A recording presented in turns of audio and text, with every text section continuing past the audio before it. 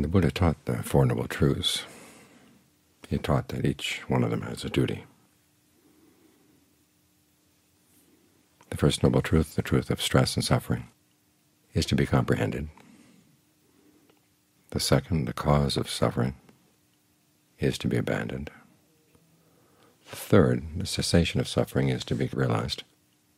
Is to be realized. And the fourth, the path to the cessation of suffering, is to be developed. Now, those duties are not totally independent of one another. The more you develop the path, the easier it's going to be to comprehend suffering and to complete all the other duties. That's because as you develop the path, and particularly as you work on concentration, you get to see what's going on in the mind a lot more clearly. And if you ask the right questions, which is what right view is all about,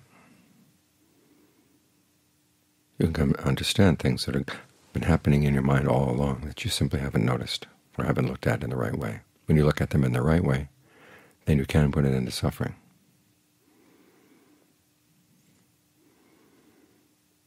And the fact that we're developing the path gives us some insight into the truth of suffering in particular, because we're going to be engaged in what the Buddha calls five aggregates. There's form, which is your body. It's sitting here right now. There are feelings. You've got feelings in the body right now and you're trying to generate feelings of ease, feelings of well-being. It's by trying to generate them that you understand them. You don't simply watch them come and go. You try to develop what the Buddha calls feelings not of the flesh. There's the pain not of the flesh, which is the realization that there are people who have gained awakening, but you haven't gained awakening yet. So there's work to be done. That's a painful thought. You can't just sit around and relax but it's a painful thought that's useful. It's like the tension on a bow and a bow and arrow. If there's no tension on the string, the arrow's not going to go anywhere.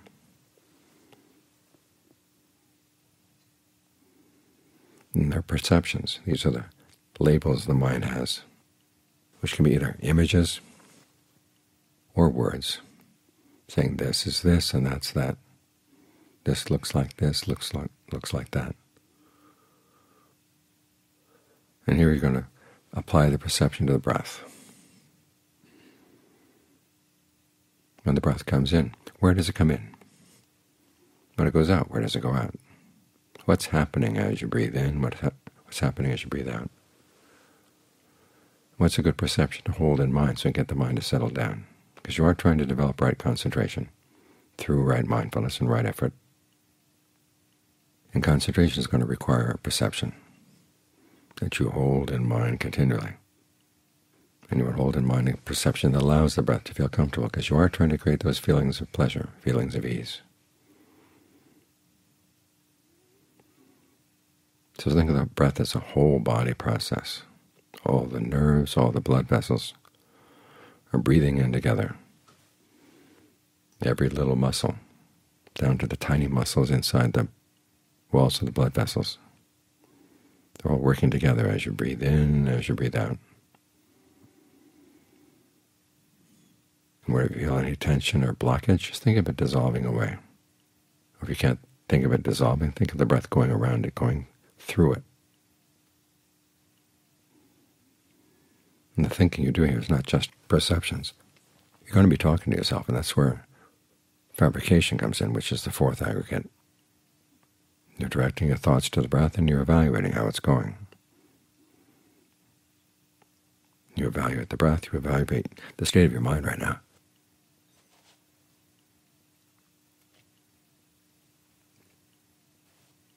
Is it ready to settle down? Work with the breath for a while and see how it feels. And if the mind refuses to settle down, maybe the problem's not with the breath, maybe it's with the mind.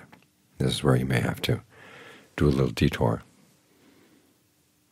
think in ways that incline the mind to want to settle down. If you're carrying in issues from the day about who said what to you and how you don't like it, Just think thoughts of goodwill. There's no need to carry those narratives into the meditation right now.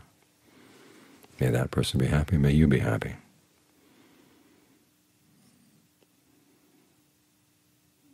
If you're feeling discouraged, think about all those stories from the Theragatha and the Therigatha of monks and nuns who were almost suicidal sometimes. So frustrated they were that they wouldn't, their minds wouldn't settle down. And yet they were able to come to their senses and get their minds to settle down and gain awakening. So even when things look bleak, they're not always going to be bleak. Remind yourself of that. And that every little chip that you can take out of this wall of defilement is a chip in the right direction. So the mind will be more confident that, yes, this is something that can be done. It may take time, but it's an important task. And it's not the kind of task where you say, well, I only have so much time to give to this because I've got other responsibilities. Those other responsibilities pale in comparison to the need to train the mind. This should come first. So you learn how to think in ways that allow the mind to settle down. Then you go back to evaluating the breath. What kind of breath would feel really good right now? Satisfying, gratifying. Which parts of the body seem to be starved for breath, thirsty for breath? Well, give them a good, nourishing breath.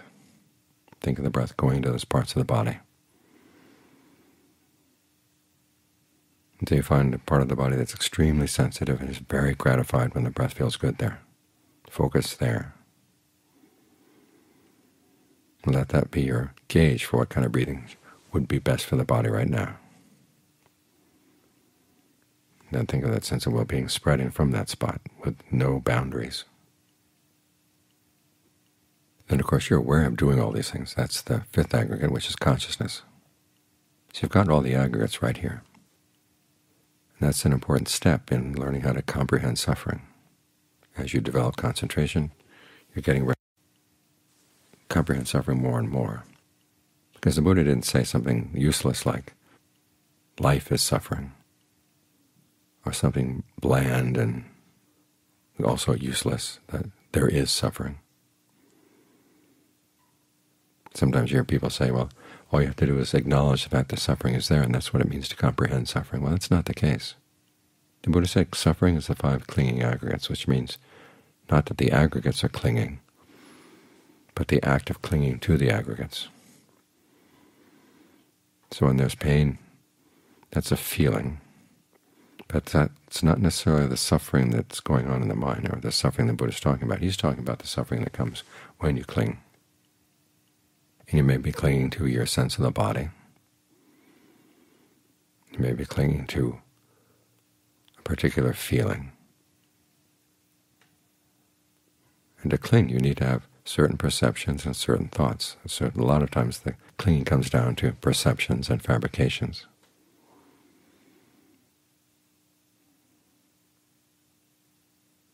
And of course you may be clinging simply to the fact that you want to be aware of something, anything. So you grab at whatever you've got. You can either cling to things as they are or cling to the idea of how you would like them to be. And it's good to look into how you perceive things as they are. Say there's a pain in the body. How do you perceive that? How does your awareness relate to the pain? How does the pain relate to the body? We've been dealing with pain ever since we were little children. In fact, so little that we had no language at all when we first encountered pain. We did know we didn't like it. And our sense of how you might deal with pain, keep it from overcoming the body, can often date back to that pre-verbal area. So you're going to have to ask some questions that are kind of pre-verbal. Is the pain the same thing as the body? And part of the mind, of course, will say no. But there may be a part of the mind that says yes, which is what the problem is. You've got the body and the pain glommed together.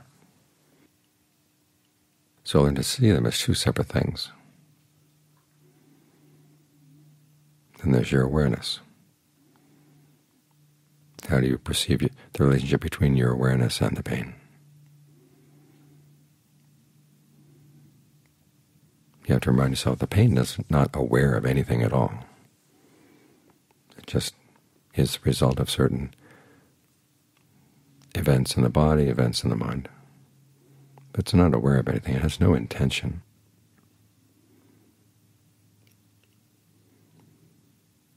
So you try to ferret out your perceptions around the pain, and you can see exactly what it is you're clinging to, especially when you're trying to see what kind of perceptions you're clinging to. Propose different perceptions. Like if you have a sense that the pain is one solid block, say in your hip or in your knee, ask yourself, is it really all that solid? This is where you start using the Buddhist three perceptions. Is there some inconstancy to the pain? Does it go up? Does it go down?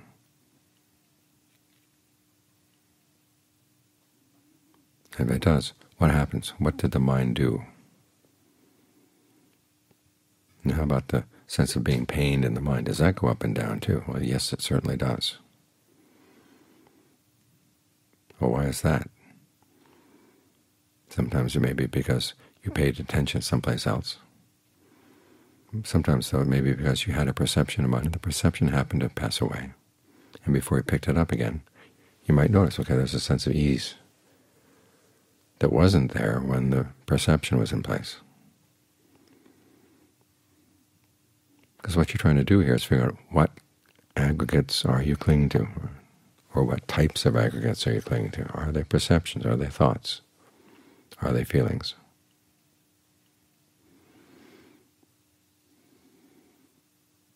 Then you're going to ask yourself, why would you want to cling to them? This is where you begin to see the cause of the suffering.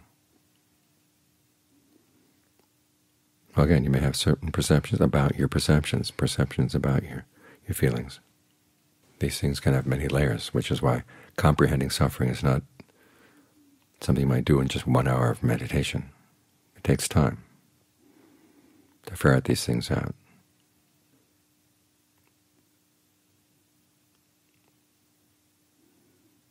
And it's when you see precisely where you're clinging that you can begin to understand okay, exactly what kind of craving is driving that clinging. Because craving has a location, but it often lies about its location. We may tell ourselves we crave X, but we actually crave an idea about X, or something we would like to see happen to X, have X be something different from what it is.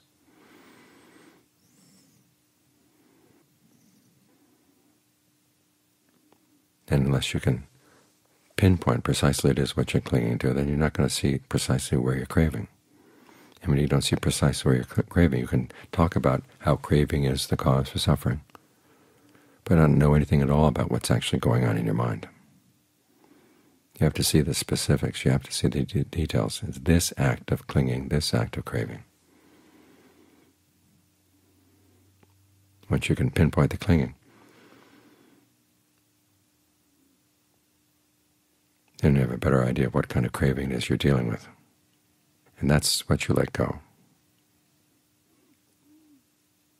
So these duties are all connected. It's simply a question of learning what it is that the duty entails. Comprehending suffering is not simply acknowledging, okay, there it is, there it is, that's suffering. Ask precisely how is the mind suffering? What acts of mind are you clinging to that keep the suffering going? And how can you see that they're really not worth it? That's where the three perceptions come in. I received a letter recently from someone who's been sick for the past couple of weeks, and she had gotten in her head somehow that she shouldn't be analyzing things in terms of the three, three perceptions. She should be analyzing in terms of the Four Noble Truths instead. Well, the Four Noble Truths form the context for what we're doing. But then we bring in those three perceptions, inconstancy, stress, not self, where they can be useful to help us see that the things we're clinging to are not worth it, or the things that we crave. Things are a certain way. We want them to be another way. Well, the way they're, they are right now, maybe suffering the way we would like them to be, well, it may, you get what you crave sometimes, and it's still going to be suffering. So you have to see these things are not worth holding on to, because whatever way you want to analyze these things has to come down to seeing it's not worth clinging to, it's not worth craving, either because it's not under your control, because it's because it changes, or because it's stressful, or for any other reason. That's just not worth the energy that goes into it. That's when you let go. It's a value judgment.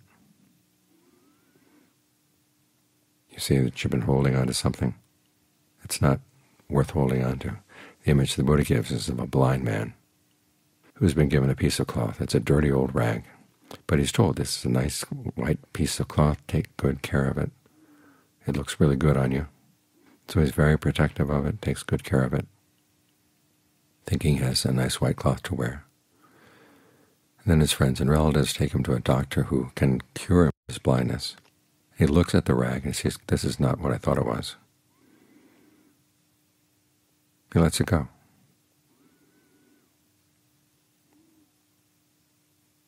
And that's what clinging comes down to. We're clinging to something, you think it's one thing, but it's actually something else. You think you're clinging to it because it's going to be worth clinging to. But then when you realize it's ephemeral, there's stress involved in it, doesn't lie under your control, and you have better options. That's the other part of letting go. There are better options, better ways of finding happiness. This is how you go about comprehending suffering.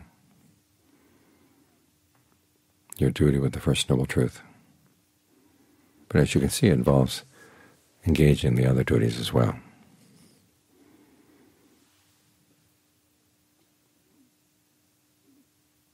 So this is the Buddha's most basic teaching, the duties of the Four Noble Truths. They tell us what to do. They give us guidance. It's simply a matter of learning how to tease out precisely what those instructions mean.